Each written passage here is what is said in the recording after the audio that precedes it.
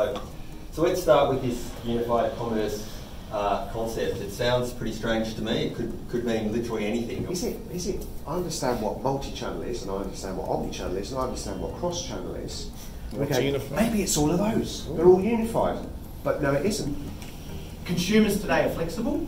Uh, unified commerce should mean a platform for retailers to be as flexible as the consumer.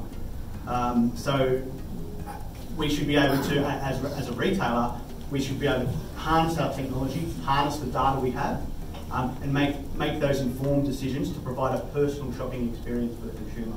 So for us, I wouldn't say we talk about unified commerce. It's just how do we how do we unify our customer journey, um, and that's supported by digital technologies and technology as a whole. So what I see is let's buy a bit of technology and then we'll figure out what we're going to do with it.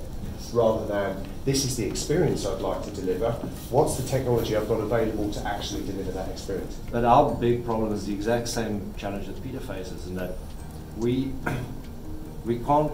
All the systems don't just work in harmony and sync together. Um, so it has to start with your your data, you know, your data governance. Like they're the most critical things before you embark on a journey like this. Is getting those things right. And You know, most people have got a phone on them. You know, how do you incorporate the technology you know they've got around them into that in- into that experience? Which, Um, look, the backbone of today's discussion has really been about the data. So get your data right, get your process right in and around that data, um, and we can lay the foundation for the, for the right unified commerce solution.